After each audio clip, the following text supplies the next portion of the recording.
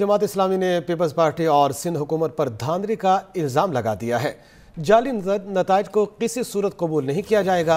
अमीर जमात इस्लामी कराची हाफिज नोमी रहमान ने वाजे कर दिया।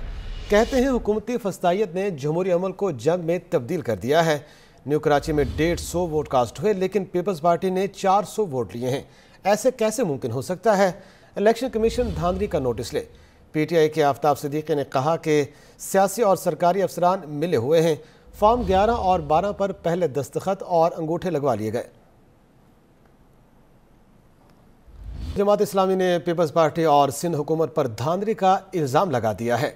जाली नतज को किसी सूरत कबूल नहीं किया जाएगा। अमीर जमात इस्लामी कराची हाफिज नोमी रहमान ने वाजे कर दिया। कहते हैं हुकूमती फस्ताइत ने जमहूरी अमल को जंग में तब्दील कर दिया है। न्यू कराची में डेढ़ सौ वोट कास्ट हुए, लेकिन पीपल्स पार्टी ने चार सौ वोट लिए हैं। ऐसे कैसे मुमकिन हो सकता है? इलेक्शन कमीशन धांधली का नोटिस ले। पीटीआई के आफ्ताब सिद्दीकी ने कहा कि सियासी और सरकारी अफसरान मिले हुए हैं। फॉर्म 11 और 12 पर पहले दस्तखत और अंगूठे लगवा लिए गए।